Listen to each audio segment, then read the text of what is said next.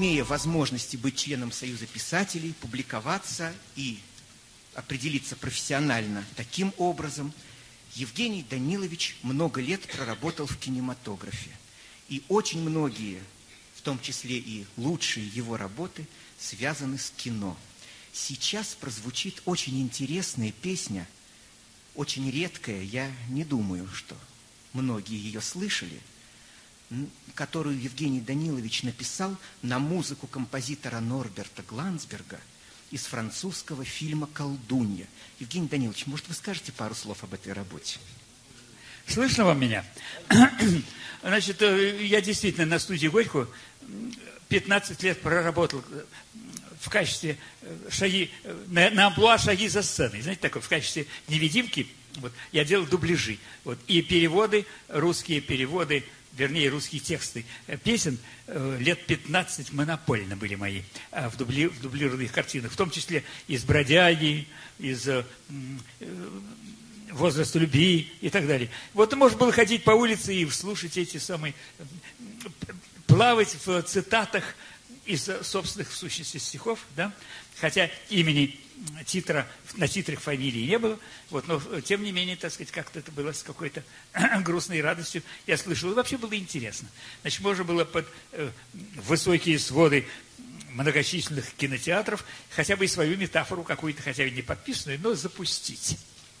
Вот, в частности, значит, э, ну, колдунью я не дублировал, но режиссер, которому нравилась очень там музыка шла, без всякого текста, он хотел положить на титрах фильма, по времени это позволяло, дубль чистой музыки фирма исходная нам э, дала, вот оставалось просто сочинить текст песни колдуньи, вот и записать. Но начальство что-то было против. Просто лишний расход какой-нибудь маленький. Не хотела студия иметь. Кинематограф очень консервативен был и, так сказать, несколько скуповат. Вот так. Но песенка существовала, вот и сейчас еще как-то жива. Короче говоря, я, значит, написал текст для песни «Колдунья». Мало кто его знал. По-моему, он нигде не был напечатан до моей книжки. А уж такое публичное исполнение, вот вы сейчас, наверное, услышите впервые. Мне нравится, значит, это как-то очень приятно. Вот а, могу тихонько похвалиться, но мы тут все свои, надеюсь, вы никому э, не выдадите меня, что просто сама колдунья, Марина Влади, вот, однажды, значит, осветила своим появлением мой скромный кров. Вот и с Володей Высоцким они однажды у меня, значит, провели длинный вечер. Вот что мы, я хорошо и помню, и рассказы об этом есть в моих книгах. Вот. Ну, теперь, значит, да, давайте послушаем прекрасную певицу. Лялю Фрайтер. Попроси, пожалуйста.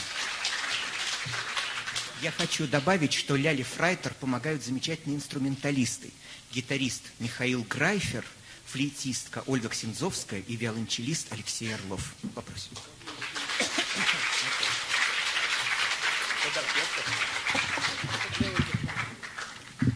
Прежде всего, э, я хотела сказать очень... Вы знаете, я эту песню знала. И они все очень удивились, что я знала эти стихи. Но я немножечко в народе, как всегда, все переиначивает, поэтому я знала немножко другие стихи. Вот. И мы хотим поздравить вас. Я вас очень люблю. Я всю жизнь вообще выходит, пела песни Евгений Погранович. Из возраста любви пела, прекрасно. Да, из возраста любви пела. И я в весеннем лесу пела. И смотри, пилот и так далее и тому подобное. Мы вас поздравляем. Я дарю вам свой диск от всех нас. Спасибо.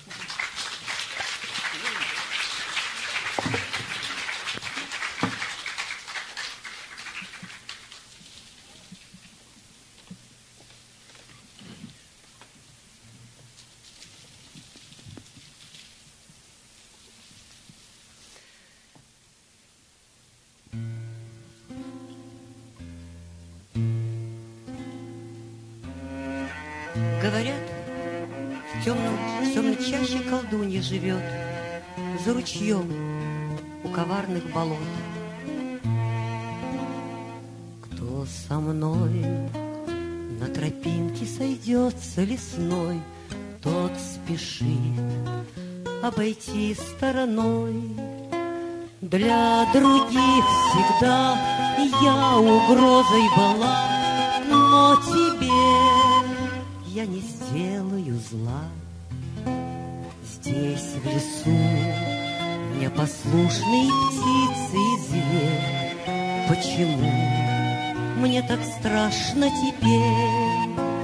На тропе лесной ты меня повстречал И колдую ты околдовал. Подойди, если скажешь, я буду твоей, Но меня обмануть ты не смей. Я шепну злому ветру и травам лесным, И взойдет над болотами дым, И тропа убежит у тебя из-под ног, Не найдешь ни путей, ни дорог. Будешь много лет ты отыскивать след, Закричишь, только эхо в ответ.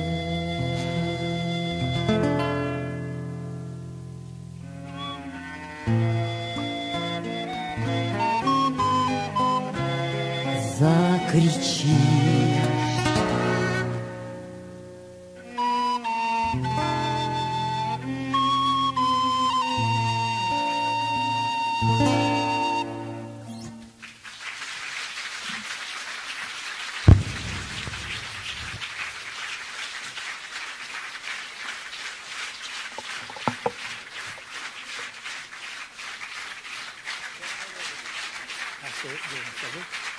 Большое спасибо, Ляля.